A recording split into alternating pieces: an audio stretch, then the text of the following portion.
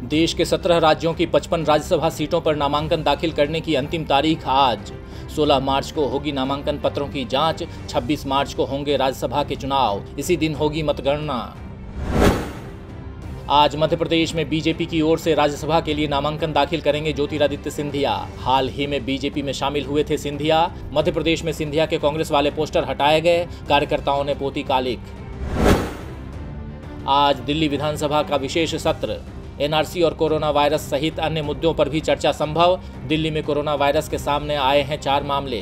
कल से 31 मार्च तक दिल्ली के सिनेमाघरों को बंद रखने का आदेश। कोरोना के चलते राजधानी के स्कूल भी हैं 31 मार्च तक बंद। आज से लागू होगा विदेशी लोगों के भारत आने पर प्रतिबंध का नियम।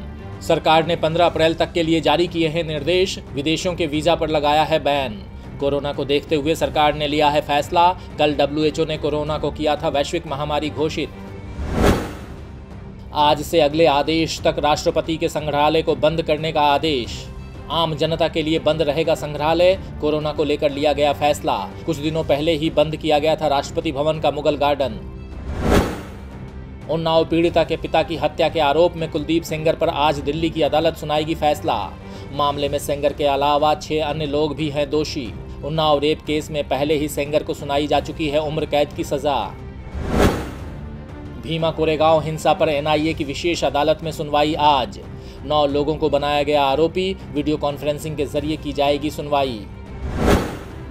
दिल्ली एनसीआर में आज हल्की बारिश होने के आसार। आने वाले 24 घंटों में जम्मू कश्मीर, लद्दाख, हिमाचल प्रदेश और उत्तराखंड में बारिश और बर्फबारी की संभावना। मौसम विभाग ने जारी की रिपोर्ट। आज हटेगी प्याज के निर्यात पर लगी हुई रोक। भारत सरकार ने अक्टूबर 2019 को लगाई थी प्याज के निर्यात पर पाबंदी। कीमतों के नियंत्रण में आने के बाद सरकार ने लिया फैसला। शुरुआत में नेपाल को निर्यात की जाएगी प्याज, बाद में बांग्लादेश भी प्याज भेज सकेंगे व्यापारी। और कल इतिहास की सबसे बड़ी गिरावट के बाद आज रहेगी शेयर मार्केट पर नज़र। कल सेंसेक्स ने लगाया था उनतीस अंकों का गोता।